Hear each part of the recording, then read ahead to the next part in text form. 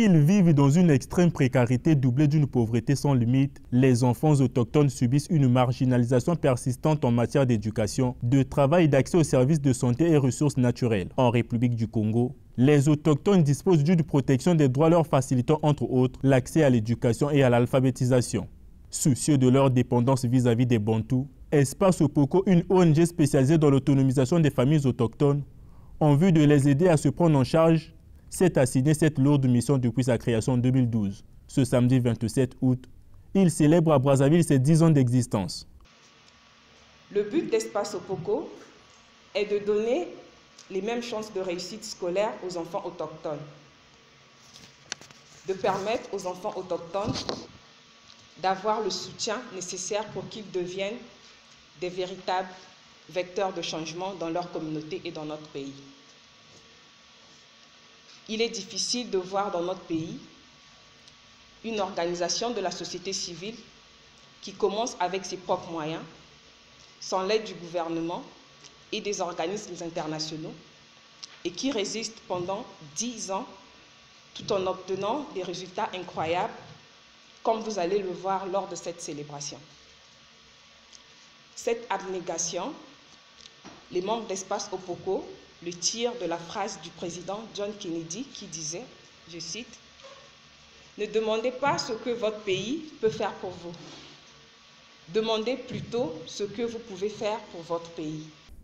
En une décennie, cette organisation compte à son actif plusieurs réalisations n'ont point douté, à savoir entre autres la distribution des kits scolaires, la campagne de sensibilisation sur l'importance de l'éducation scolaire, l'établissement des pièces d'état civil, le paiement des enseignants bénévoles et la prise en charge des étudiants autochtones à Brazzaville, que d'ailleurs certains présents dans cette salle se sont permis de témoigner les merveilles de l'espace Opoko en leur faveur.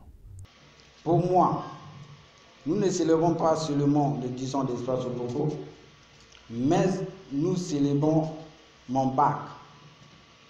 Parce que je suis le tout premier autochtone de l'histoire de Bambama à avoir le bac. Et Espace Opoko s'est occupé de moi jusqu'à maintenant.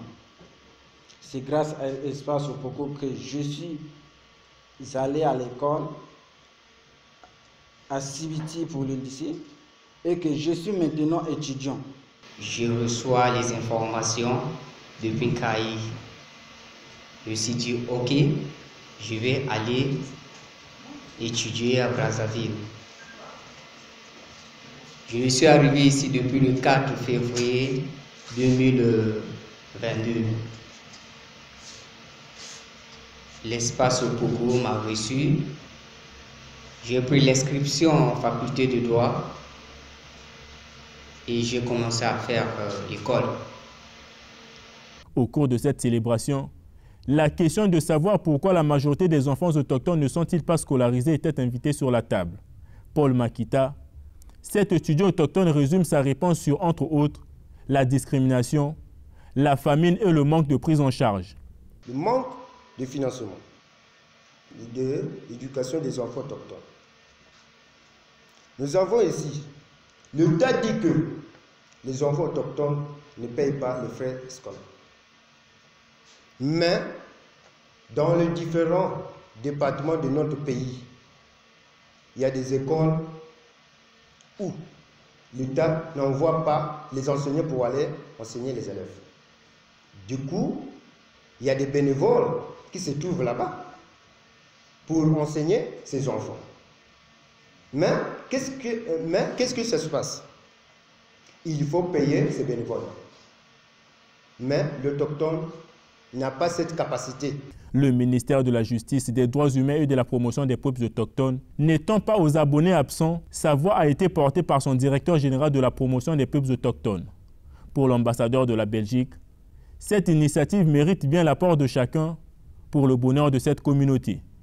J'étais fort intéressé euh, euh, par, la, problématique en premier lieu et, j'étais en fait tout à fait, tout à fait convaincu, tout à fait séduit par leur présentation parce que euh, je vois que ce qu'ils font est, très concret, qu'ils aident de façon euh, très concrète des, étudiants, qu'ils peuvent aussi euh, montrer des résultats, montrer qui ils ont aidé, quels étudiants ont pu avancer dans leurs études et comment ils ont été aidés. Et ça, c'est très gratifiant à entendre.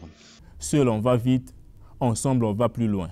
L'espace Poco l'ayant compris, a profité de nouer quelques partenariats avec d'autres organisations, Butterfly en l'occurrence.